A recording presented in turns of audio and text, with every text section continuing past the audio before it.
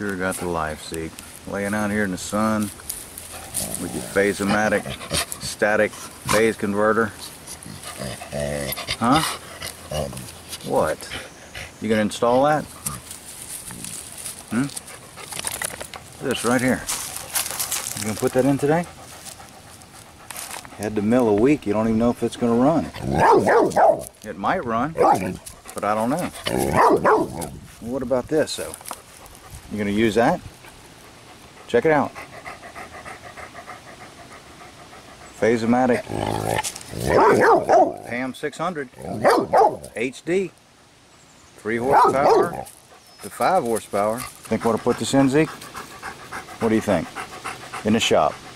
Might be a treat involved or food. You're not even interested. You must have ate already. Is that what it is? All right, here we go. All right, welcome back to the shop. Uh, today I'm going to wire up this static phase converter. Plan is to uh, come out of this 220 outlet with SO cord and then come from the phase converter. I've already got cable in the seal tight out of the phase converter into the three phase motor. So we'll be uh, doing that today. Just got to put a couple Sta-Kons on there. It's relatively simple to wire this thing up. And hopefully uh, we'll get it going.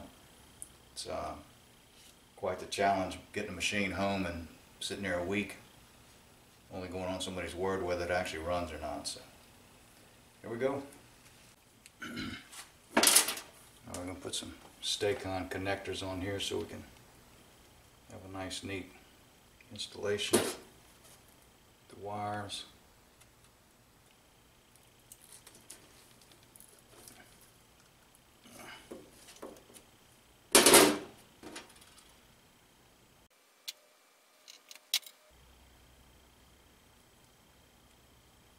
These things really work nicely for a good clean installation. Looks like for this static phase converter you simply uh, run 220 to it to the, to the A and B legs. Got A, B, C in there, A, B, C. You run uh, 220 to the A and the C, get in from the motor, A, B, C. Now I do have to put a, a grounding lug in here somewhere. I just need to ground it to this box. Uh, and we'll knock, knock these knockouts here and put our connectors in there. So here we go. Uh, installation of this is relatively simple. Uh, it did talk about having the 220 come in, go into the A and C, and then the three phase going to the motor. Didn't give you a grounding lug, so I put a, a, a bolt and a nut in there to attach my grounds to. Uh, so we're just about ready to start installing this thing. So I'll run this SO cord in there, clamp it down.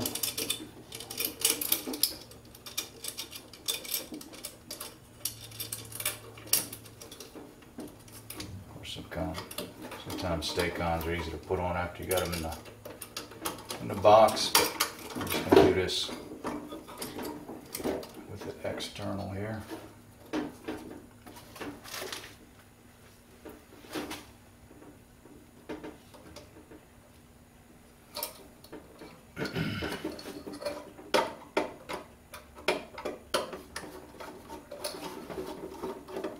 Taking these lugs loose on the inside of the box here.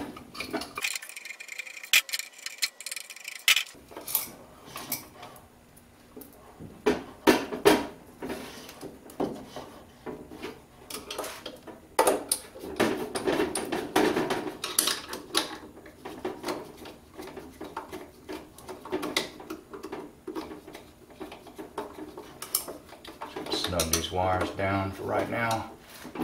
About to go with these round uh, eyes so we can just for a little bit more security. So kind of with just a fork, you know, sometimes like I say, one unhooked under vibration and everything.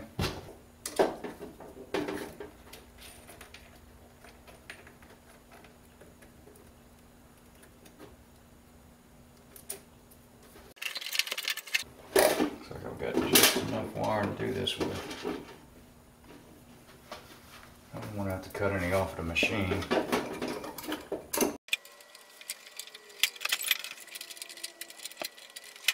One could always use an extra hand doing this kind of stuff.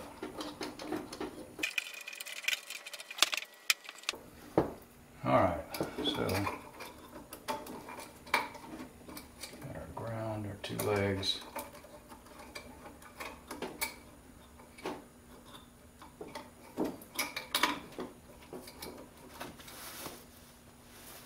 Alright, let's hook up our A and B, A and C actually.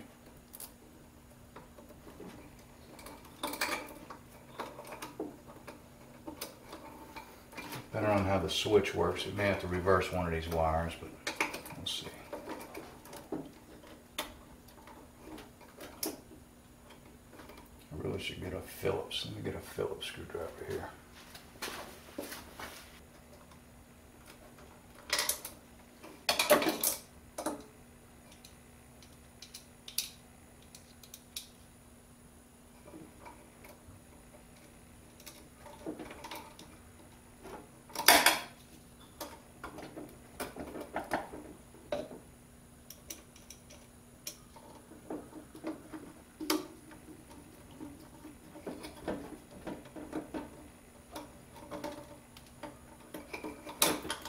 What, they do not give you much room to work in this box.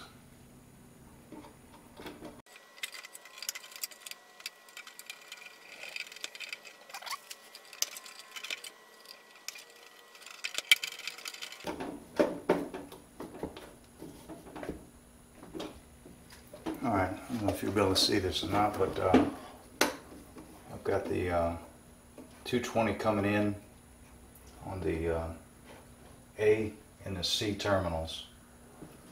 Uh, also got two of the terminals of the three-phase motor. So now I'm going to go ahead and connect the final terminal of the three-phase to the, to the C connector. Some kind, it's called a ghost or phantom leg.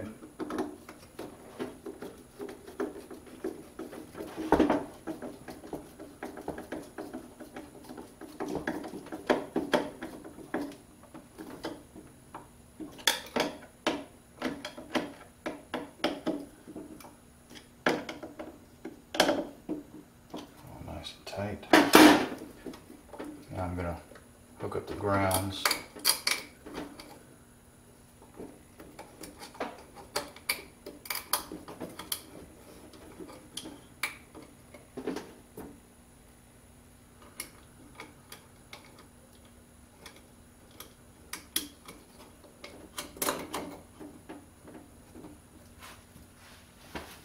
Tighten it down.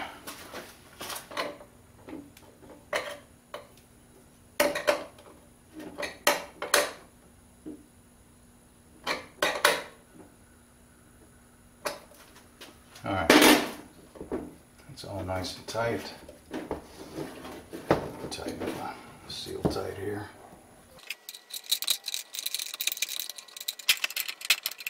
All right.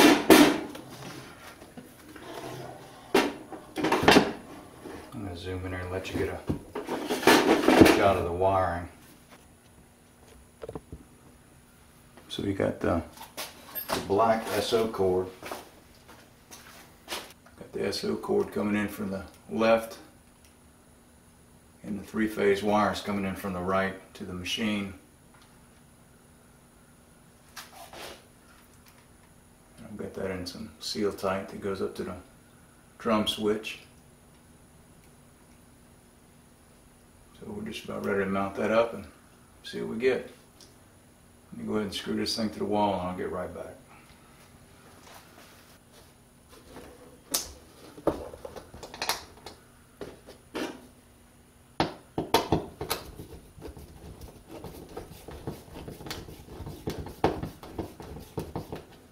Let that hold up for just a second.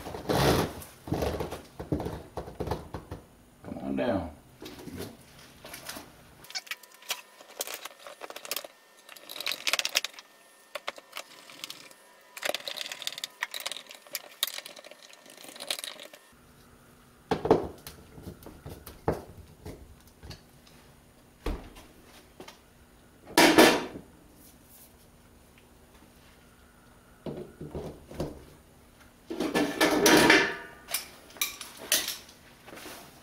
we're all plugged in.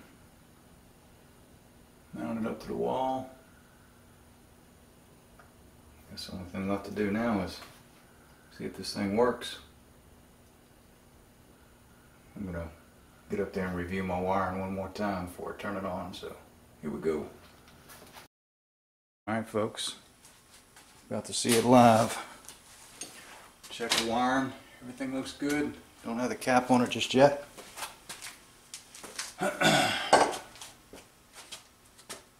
See what she's gonna do. Forward.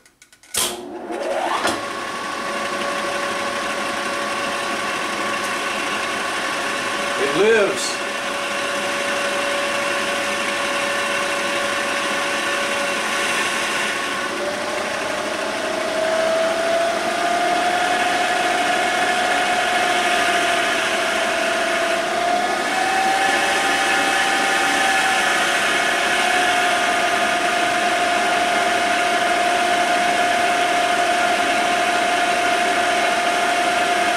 All right. Running.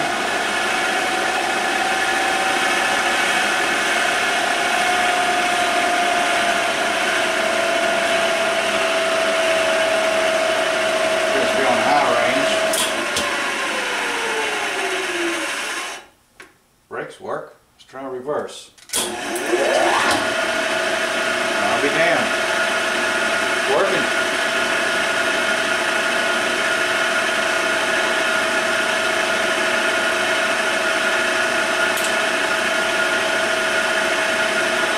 Now I gotta learn how to use it.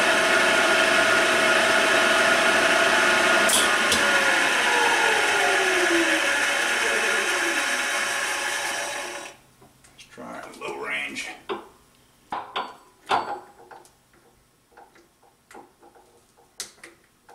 That appears to be low.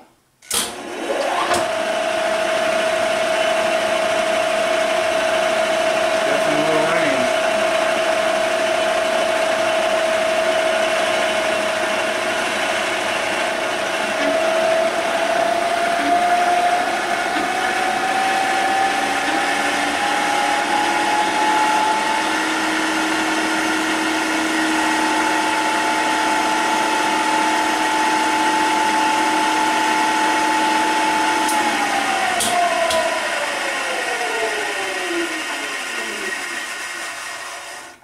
As you can see, the phase converter It's operating like it should be. The should be a red light kicking on while the capacitors charge it up, and then it kicks out and runs in uh, three phase. Very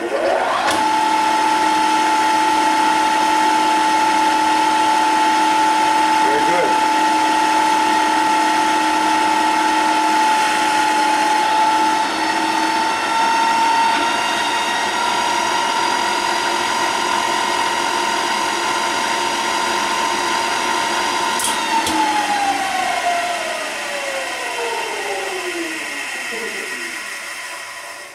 All right, here we go. All right, so um, after the initial startup, I noticed that the uh, machine's actually running in reverse. Uh, so I just need to swap out, reverse the A and C terminals that's going to the motor. So I'm going to go ahead and knock that out real quick. See if I can't get it going in the right direction.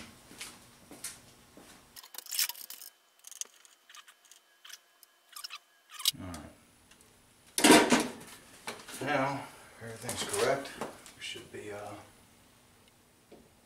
in the right direction. Let's see what we get.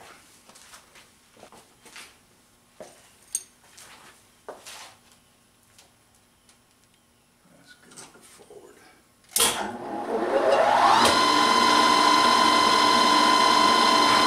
the way it should be running.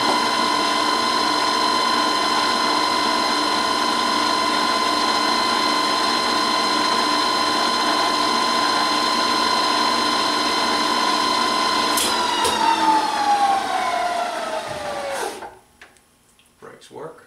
Go for reverse.